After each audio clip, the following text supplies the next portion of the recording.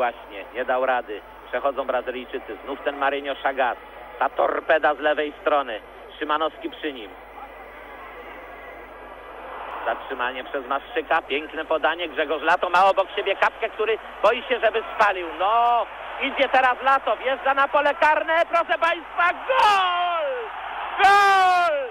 Grzegorz Lato. Siódma bramka na Mistrzostwach Świata. Wspaniała sprawa. Jeszcze raz ta sama sytuacja być może zostanie powtórzona. Sędzia pokazuje na środek. Radość olbrzymia. Tutaj Brazylijczycy chcieli zastosować pułapkę offside'ową. Żółta kartka dla któregoś z Brazylijczyków. Patrzę teraz poza tę sytuację, którą realizator powtarza. Przytomne zagranie Grzegorza Laty. Siódma bramka króla strzelców dziesiątych mistrzostw świata.